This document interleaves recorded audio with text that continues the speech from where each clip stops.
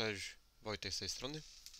Dzisiaj pomyślałem, że będzie to początek narzędzi i pierwszy z nich narzędzia łuku. Więc zapraszam. Tak jak tutaj widzimy, mamy już początek i pokażemy gdzie jest narzędzie łuku. W moim przypadku mam tu, to jest panel y, podstawowy lercz ustawiony. I mamy tu kilka narzędzi łuku. Prosty sposób dostępny. Naciśnijmy pierwszy. Wyłączymy.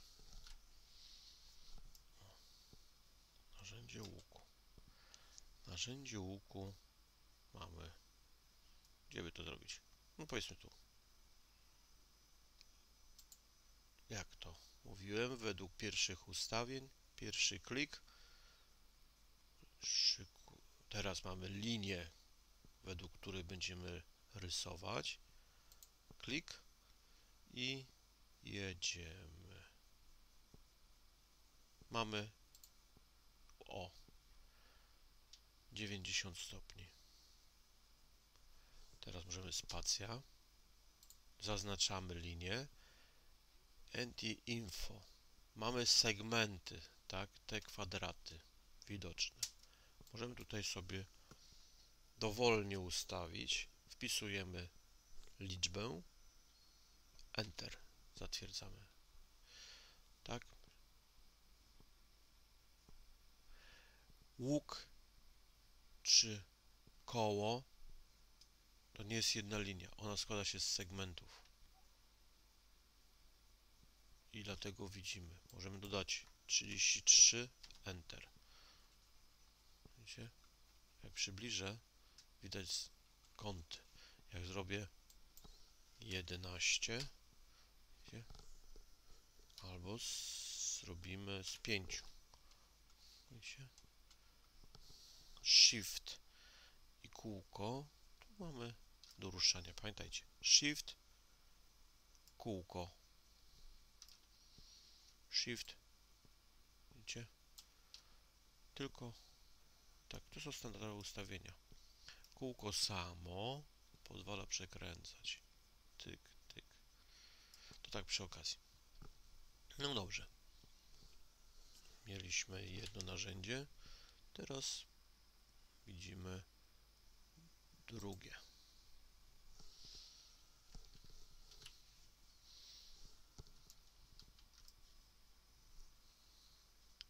Kropka. Nawet pokazuje, widzicie, na kursorze. Teraz drugą kropkę zrobimy. I mamy trzecią kropkę. Kursor nam podaje, który element Powiedzmy, że tak. Pyk.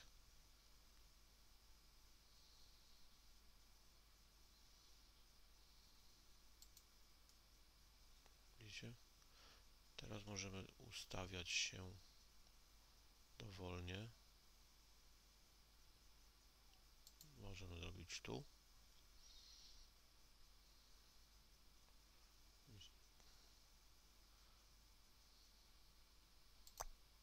No coś tam takiego.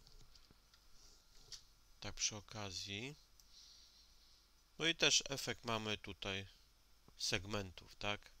Tu mamy segment radius.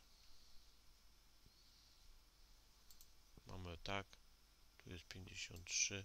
Róbmy 33. Tak.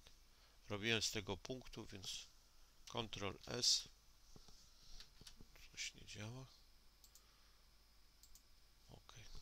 Co on tu podpowiada?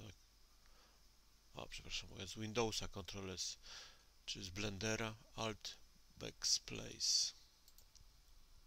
OK.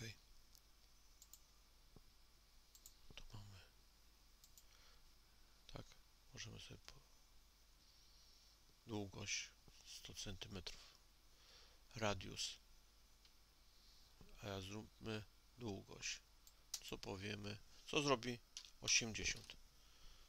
Nie zmieni, ponieważ radius jest ustawiony tak jak trzeba. Dobrze. Przy okazji, na kwadracie mamy r, robimy kwadrat, czy to prostokąt. Spacja, wyłączamy, włączamy. Możemy zrobić łuk i zaokrąglenie na rogach. Wybieramy pierwszy punkt. Teraz poszukujemy drugi punkt i jak widzicie jest zrobiony. I teraz możemy sobie o to jak widzicie. I teraz kiedy o przepraszam Alt Alt Alt Alt Alt wow, SketchUp, dzięki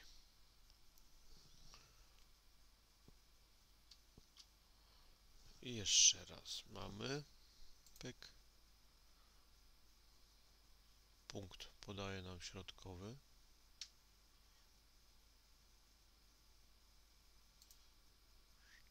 Możemy sobie robić różne.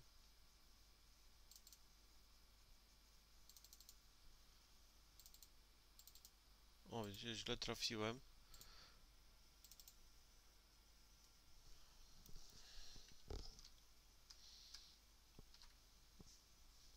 Ok, jeszcze raz.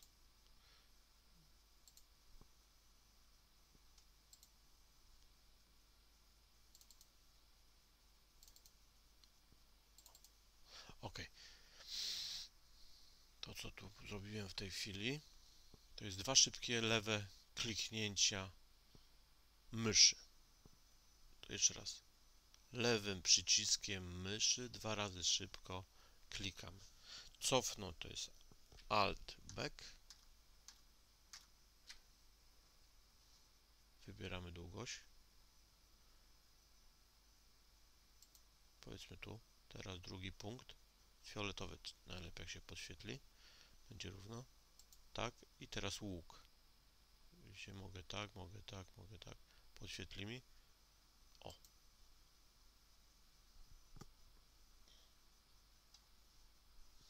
Shift, kółeczko. Dwa szybkie. Dwa szybkie. Shift, kółeczko. A, tu widzicie, przełączył mi się. Poleciałem. Więc... Dobra. Jeszcze jak mamy to narzędzie, Możemy sobie tu powiedzmy tak i mamy efekt coś takiego.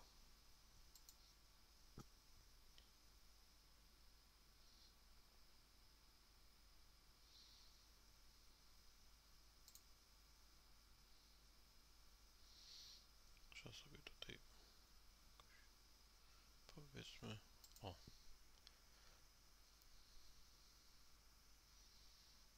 W ten sposób możemy to działać. I naciskamy powiększenie. Mieliśmy teraz trzech punktów. Trzy punkty wyłączamy. Mamy pierwszy punkt. Hmm, tu jest prostopadle do drugi punkt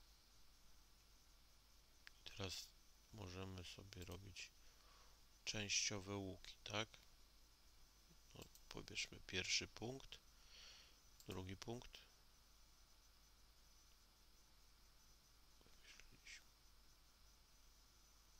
Coś takiego.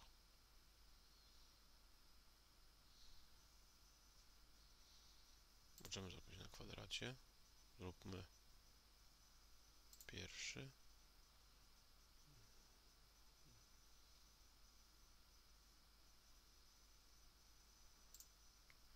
Coś takiego. To mamy. Powyłączamy. I ostatni powiększenie draw close draw close P. Tyk.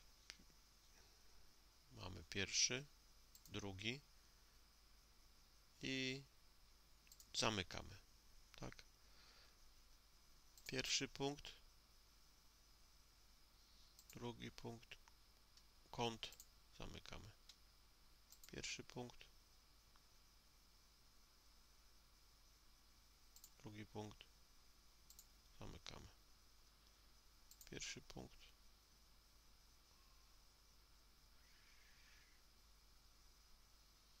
Drugi punkt. Zamykamy. Pierwszy punkt. Drugi punkt. Zamykamy. Drugi punkt. Zamykamy. O. to tak wstępem. Powiedzmy jeszcze żebyśmy sobie gdzieś tutaj pyk. I teraz z palca powiedzmy wpiszmy 15 momencie ruszyłem. 15 w prawym dolnym rogu. 15 Enter. I jest kreseczka. Ok to tak wstępem. Jeszcze raz dzięki. Pozdrawiam i może Wam się przydało. Życzę dobrego dnia. Na razie